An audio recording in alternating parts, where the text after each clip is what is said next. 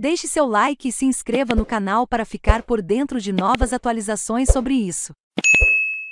Campeão olímpico e influenciador Douglas Souza é representado na Superliga de Vôlei no último sábado. A equipe Farmacon de Vôlei derrotou o São José Blumenau por 3 sets a 2 em partida válida pela vigésima rodada da Superliga masculina, e o destaque da partida foi Douglas Souza, campeão olímpico do Rio 2016, com 33 pontos marcados. O desempenho fez com que a ponteira se consolidasse na quinta colocação entre as maiores pontuadoras do campeonato, o que deixou o Farmaconde ainda mais próximo da vaga para as fases finais da Superliga.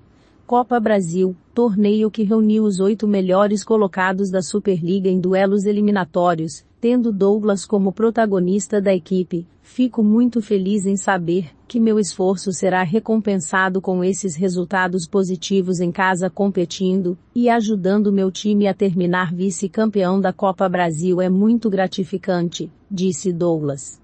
Eles têm muito mais investimentos do que nós, e isso mostra que estamos no caminho certo. Precisamos focar nessa fase final, para continuar desenvolvendo e entregando tudo o que temos, avaliou o jogador. A avaliação de Douglas sobre seus jogos no Brasil é muito positiva.